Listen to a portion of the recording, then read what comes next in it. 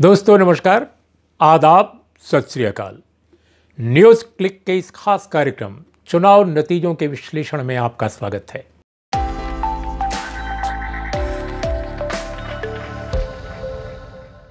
पाँच राज्यों के चुनाव के जो भी नतीजे आए हैं, वो आपने सबने देख लिया है, पढ़ लिया है।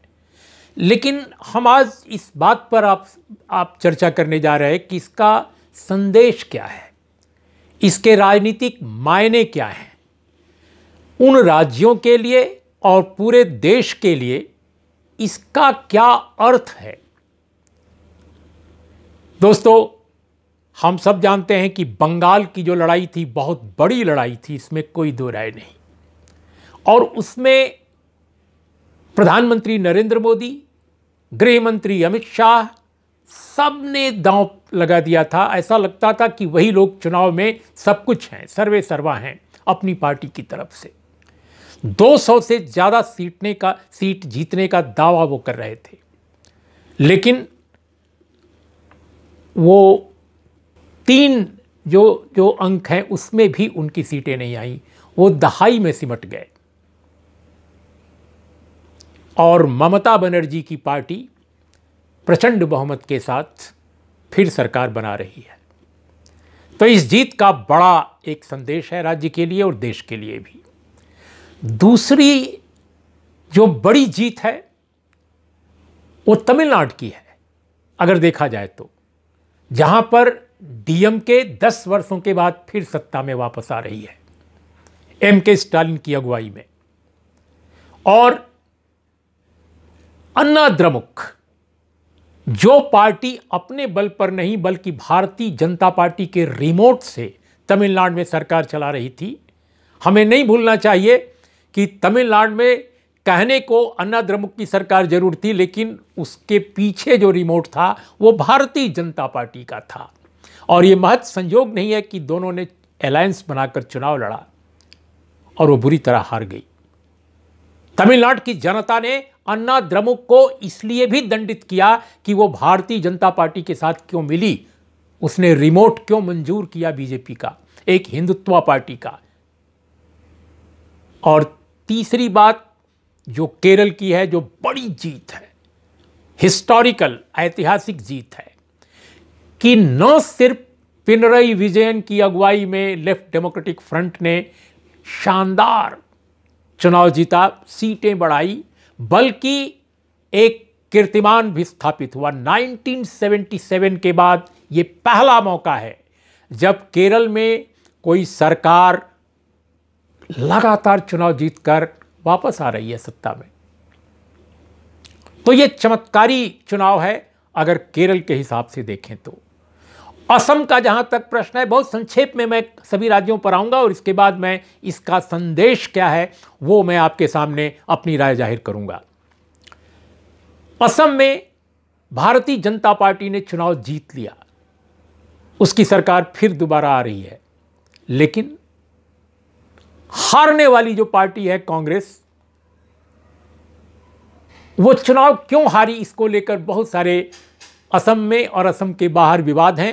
लेकिन जो सबसे बड़ी प्रमुख बात कही जा रही है, वो थी, वो है कि एआईडीयूएफ के साथ जो उन्होंने अलायंस किया, वो उनको फ़ायदा पहुँचाने के बजाय नुकसान पहुँचा दिया और जो हिंदुत्व पार्टी है भारतीय जनता पार्टी, उसने इसको कम्युनलाइज किया, बहुत ज़बरदस्त ढंग से कम्युनल पोलराइजेशन किया और असम में उसका अवश्य प्रभाव पड़ा, जिसकी वजह से कांग्रेस की सीटें अपर असम से लेकर और कई जगह भी कम हो गई। यहाँ तक कि इस जो अलायंस के जो सबसे बड़े पैरोकार थे, रिपुन बोरा, जो प्रदेश कांग्रेस के अध्यक्ष, वो चुनाव हार गए। तो ये तो रहा चार राज्यों का। और हम जानते हैं कि पुडुचेरी एक छोटा राज्य है। और वहाँ क्या क्या हुआ हाल के दिनों में? सरकार को फिर से बीजेपी की वहाँ बनाने के लिए हम सब जानते हैं। तो वो एक अलग कहानी है और उसका उतना आ, मैं समझता हूँ कि बड़े राज्यों में शुमार भी नहीं हो सकता। तो ये चार राज्य की जो कहानी है उसके बाद हम आते हैं। अब मुख्य बात जो आज की हमारी है कि इसका राजनीतिक संदेश क्या है। दोस्तों मैं समझता हूँ कि ये सिर्फ़ राज्य के लिए संदेश नहीं देते हैं ये चुनाव इनके नतीजे बल्कि पूरे देश के लिए देते हैं। कहने को ये राज्यों के चुनाव थे लेकिन दरअसल उत्तर, पूरब और दक्षिण। पूरे भारत को एक तरह से उनकी भावना को भारत की, भारतीय जनता के बीच जो कुछ चल रहा है और वो भी एक ऐसी महामारी के दरमियान जो अभूतपूर्व है।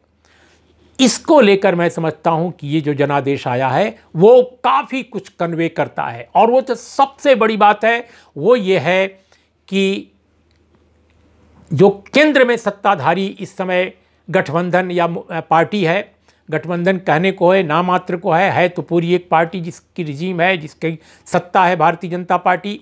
और उसके जो सबसे बड़े नेता नरेंद्र मोदी प्रधानमंत्री हैं, अगर इस चुनाव का कोई बड़ा संदेश है तो वो ये है कि नरेंद्र मोदी की अगुवाई में जो भारतीय जनता पार्टी, हिंदुत्व जो गठबंधन है, और कारपोरेट का जिसको प्रचंड समर्थन है इस देश के उसको अगर शिकस्त देनी है, उसको अगर अपदस्थ करना है अगले, अगली बार तो एक बहुत ही व्यवस्थित किस्म की, बहुत ही शक्तिशाली किस्म की और बहुत सुसंगत किस्म की मोर्चे मोर्चेबंदी चाहिए।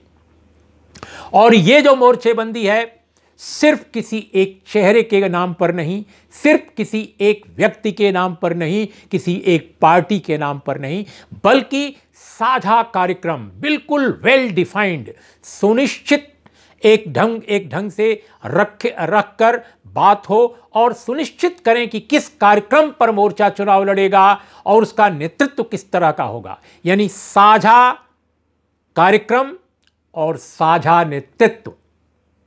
ध्यान दीजिए, साझा नेतृत्व, साझा कार्यक्रम, जब तक इसको इवॉल्व नहीं किया जाता, तब तक जो सत्ता में बड़ा जो अलायंस है, दिखाई देता है, केवल आपको एक एक एक एक पार्टी का चेहरा दो तीन नेताओं का चेहरा, लेकिन मैं समझता हूँ कि केंद्र की जो मौजूदा सत्ता है, उसके पीछे एक बड़ा अलायंस है और उसमें इंडियन जो भारत का जो कारपोरेट है, उसका, उसको प्रचंड समर्थन है। तो ऐसी स्थिति में जो एक जिसको आप समझते हैं कि केवल एक पार्टी, एक एक विचारधारा है, केवल उसके पीछे एक हिंदुत्व राज कायम करने की एक, का एक एजेंडा केवल है ऐसा नहीं है। सिर्फ़ यही नहीं है, ये तो है ही है, लेकिन एक पूरे देश की सारी पब्लिक सेक्टर को, सारे देश के एसेट्स को और इस महामारी में इसको आम जनता भी समझ पा रही है, ऑक्सीजन की इतनी भारी कमी के दौर में कि जो पब्लिक एसेट्स हमारे हैं, जो हमारा पब्लिक सेक्टर है, उसको निजीकृत करने का जो पूरा एजेंडा इस सरकार का है, इस पार्टी का है, वह भी इस अलायंस का एक बड़ा फैक्टर है। वो एक बहुत महत्वपूर्ण आनुषंगिक अंग है। तो कारपोरेट और हिंदुत्ववाद दोनों का एक बहुत मिला जुला ये एक सशक्त मोर्चा है और इसको जनता के, जो जनता जो समाज, जो सूबे, जो प्रदेश चाहते हैं कि भारत संवैधानिक लोकतंत्र के हिसाब से चले, यहाँ पब्लिक सेक्टर भी रहे और निजी सेक्टर जो है, जो प्राइवेट सेक्टर है, वो भी अपने ढंग से काम करे।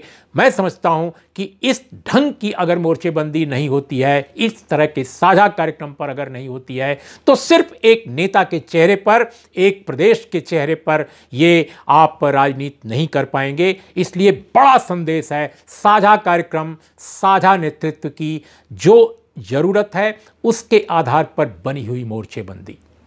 और दूसरी बात दोस्तों, बहुत सारे जो व्याख्याकार हैं इस देश के, जब से चुनाव का जनादेश आया है राज्यों का, तब से खासकर जो अंग्रेज़ी के बहुत बड़े बड़े कमेंटेटर हैं, अखबारों और टेलीविज़न के, वो लगातार इस बात को कह रहे हैं कि साहब ये जो जीत है, वो दरअसल केरल की जी जीत है, वो वो विचारधारा की जीत नहीं है गवर्नेंस की जीत है, क्योंकि पिनरई विजयन ने बहुत वेल मैनेज्ड ढंग से, एक बहुत व्यवस्थित ढंग से चीज़ों को वहाँ चलाया है। तो ये पिनरई विजयन की जो विचारधारा है, उसकी नहीं जीत है, बल्कि बल्कि उनकी गवर्नेंस की जीत है।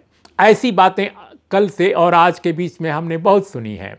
लेकिन दोस्तों, दुनिया में कोई भी देश हो, कोई भी समाज हो, अगर गवर्नेंस का कोई मॉडल सामने आता है तो वो विचारधारा के बगैर नहीं होता। अगर आपके पास कोई विचारधारा है तो उसके मुतलिक ही, उसी की रोशनी में आप गवर्नेंस का मॉडल खोजते हैं।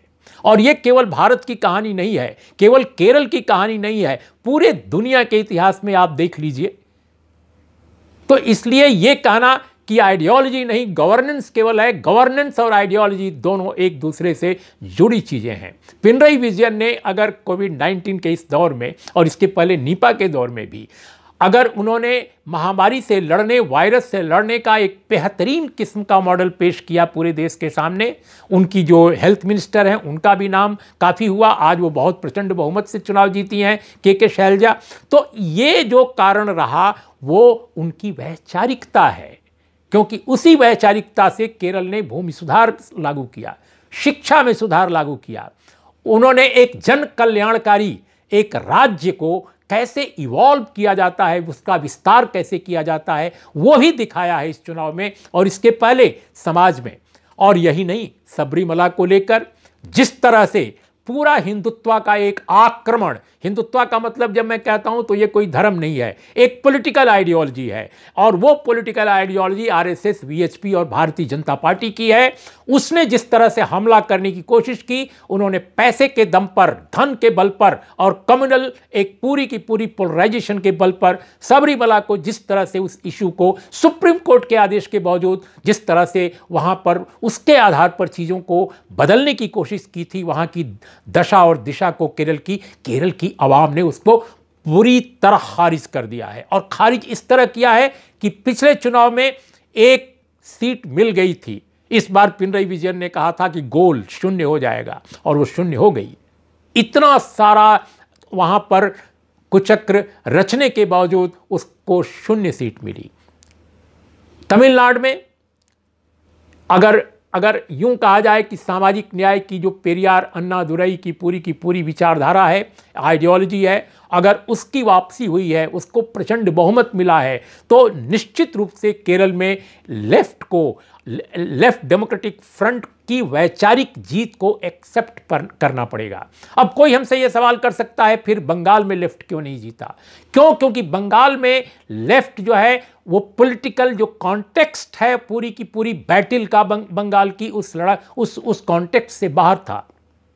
और इसे स्वीकार करने में, इसको मानने में एक जर्नलिस्ट के तौर पे मुझे कोई संकोच नहीं है कि वो पूरी की पूरी बंगाल की लड़ाई में जो मोर्चा था, जो बना था बाद जो जो चुनाव से एन पहले, वो अपने को सोशली पॉलिटिकली रिलेवेंट नहीं साबित कर सका। और यही कारण है कि बंगाल में पूरी की पूरी लड़ाई तृणमूल कांग्रेस और बीजेपी के बीच चली गई।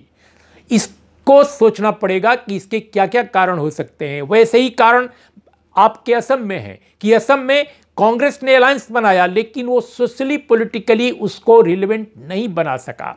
तो इसलिए दोस्तों, मैं समझता हूँ कि इस चुनाव का जो जनादेश है, उसके बहुत महत्वपूर्ण संकेत हैं, बहुत महत्वपूर्ण संदेश हैं कि भारत में कारपोरेट हिंदुत्वा गठबंधन जो है उसकी जो वैचारिकी है, निजीकरण आधारित जो पूरी की पूरी अर्थनीति है और जो सांप्रदायिकता और ध्रुवीकरण आधारित जो राजनीति है, उसको चैलेंज किया जा सकता है अगर तो वो वाम जनवादी और सामाजिक न्याय की विचारधारा का जो एक गवर्नेंस का मॉडल है, जो राजनीति का मॉडल है, इनकी मोर्चे बंदी से ही संभव है। इसीलिए मैं कहता हूँ कि कोई एक चेहरा नहीं, चेहरे से ज़्यादा महत्वपूर्ण एजेंडा है और एजेंडे के साथ मोर्चेबंदी ज़रूरी है। वही मैं समझता हूँ कि इस चुनाव के जो नतीजे हैं, उनसे निकलता हुआ बड़ा एक संकेत है, बड़ा एक संदेश है।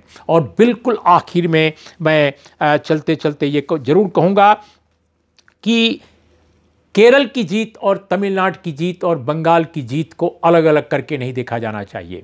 इस महामारी में जिस तरह से, जिस तरह से सत्ता जो केंद्र की है, जिस जिस तरह से विफल रही है, क्योंकि उसकी राजनीति उसको इसी नियति की तरफ़ ढकेल रही थी। उसको परवाह नहीं है अपने लोगों की। उसको केवल अपने प्रचार, अपने विस्तार और निजीकरण से फुर्सत नहीं है। तो इन्हीं कारणों से जनता ने बुरी तरह उसको खारिज किया है। ज़रूरत इस बात की है कि इस बात को समझा जाए। लोग समझें, खासकर उत्तर भारत के लोग, हिंदी भाषी क्षेत्रों के लोग। तो दोस्तों, आज बस इतना ही। नमस्कार, आदाब, सत श्री अकाल।